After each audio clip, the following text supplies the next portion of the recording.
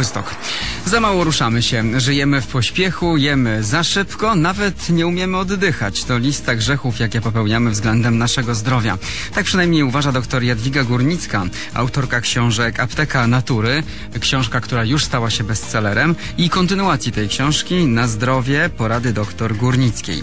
A przy moim telefonie dr Jadwiga Górnicka, autorka y, książki Apteka Natury, a teraz y, kontynuacji tej książki, czyli Na zdrowie porady dr Górnickiej. Dzień dobry pani doktor. Dzień dobry. Pani doktor, swoją książkę pani zaczyna od tego, e, że lepiej zapobiegać niż e, leczyć. No niby my o tym wszyscy wiemy, ale czy są takie uniwersalne przepisy na to, jak zachować swoje zdrowie, czyli jak zapobiegać, żeby nie doprowadzić do choroby? No przede wszystkim to ciągle jest to siedzenie w nadmiarze.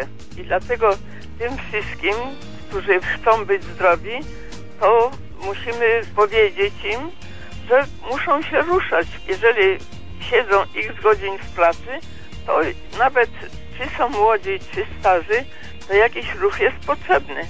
Starszym to może być nawet powiedzmy, żeby sobie te półtora czy dwa kilometry w jedną stronę przeszedł codziennie, a tym młodszym niech sobie to przeleci. Druga sprawa to taki grzech jest, że ciągle, prawda, nie możemy zdążyć i się wszędzie śpieszymy, ale śpieszymy się nawet z jedzeniem. A jeżeli szybko jemy, to na pewno nie będzie z tego w dłuższym okresie dobrego przyswajania, będą rozmaite kłopoty Czyli unikać pośpiechu, pośpiechu jeść bardzo powoli. Jemy za szybko i dlaczego nie korzystamy z tego jedzenia, żeby być zdrowym, ale powodujemy właśnie odwrotnie. Choroby. Ruszać się i jeść wolno to pierwsze zasady dr e, Jadwigi Górnickiej, autorki książki Apteka Natury i porady dr Górnickiej e, na e, zdrowie. Bardzo ważną sprawą jest oddychanie. Każdemu, kto przychodzi i czy ma takie czy inne dolegliwości, to sprawdzam, czy oddycha prawidłowo, czy ma drożny nos, czy nie ma zajętych zatok, bo to jest po prostu taki warunek, że nie można być zdrowym, jeżeli się dobrze nie oddycha. Ale w Polsce zapomniano o oddychaniu. Jeżeli oddychamy, prawda, źle, dlatego że mamy przytkany nos, bo w dzieciństwie były częste katary nosa, dlatego że, prawda, matki poszły do pracy, no więc dzieci były czy oddawane w opiekę, czy, czy niedojrzane. Do końca te katary nie były wyleczone. Często są te polipy, co przeszkadza w oddychaniu. I jeżeli nie oddychamy, bo przytkany nos, nie nosem, no to musimy oddychać ustami. A jeżeli oddychamy ustami, proszę sobie spróbować nabrać powietrze ustami. Tylko górny płat nabiera powietrze.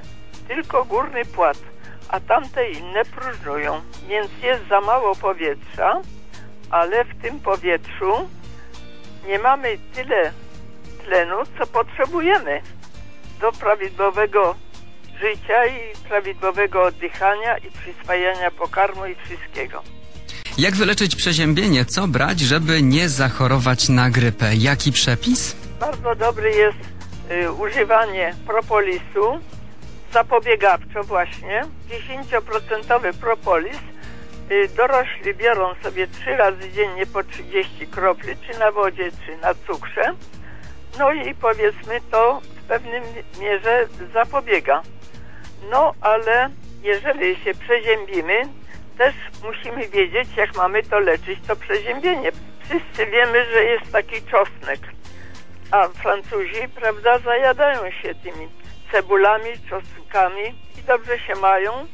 Ten y, czosnek jest bardzo dobry na to, żeby powiedzmy przeziębienie szybciej przeszło. Więc szykujemy sobie 4 czy 6 ząbków czosnku. Mamy to zjeść czerstwym, ciemnym chlebem. Dużo masła na ten chleb, żeby ten czosnek nie piekł tego żołądka, jak się zje. Można tam dodać napar z kwiatów bzu czarnego do popicia tego czosnku. Możemy ten czosnek pozbawić tego zapachu. No więc ten czosnek obrany z tych łusek rzuciłam na patelnię, na której pokrojona drobno cebula na wodzie dochodziła do miękkości. No i on tak ze 3 do 5 minut ten czosnek pobył.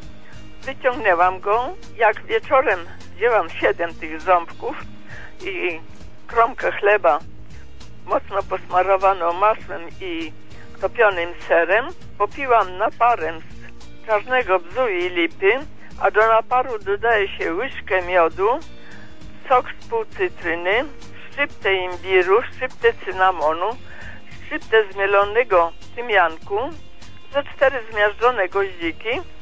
No i wszystko to rozgrzewa nas. No i trzeba zrobić teraz bardzo silne poty. Bo jeżeli się wypoci w pierwszym dniu zaraz po przeziębieniu, to ta cała infekcja będzie trwała półtora do